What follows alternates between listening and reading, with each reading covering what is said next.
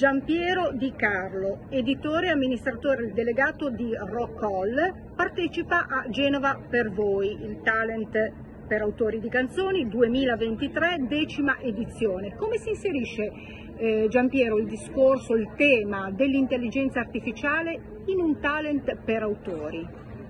Si inserisce con grande cognizione di causa perché l'intelligenza artificiale di tipo generativo è proprio quella parte dell'intelligenza artificiale che si occupa, come dice il nome, della creazione di nuovi originali.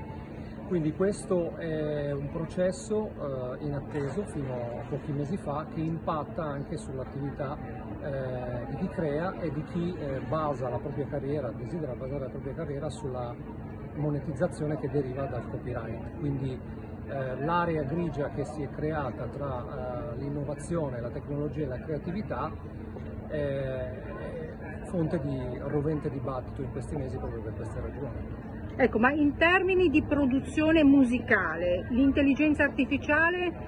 Eh, il tema è che l'intelligenza artificiale di tipo generativo può fare tutto, può fare veramente tutto, quindi può scrivere testi, può ideare suoni, può scopiazzare autori noti, e quindi diciamo idealmente crearne dei cloni, ma crearne anche dei cloni veri, eh, con le fattezze, eh, il timbro, l'apparenza, quindi potrebbe fare tutto.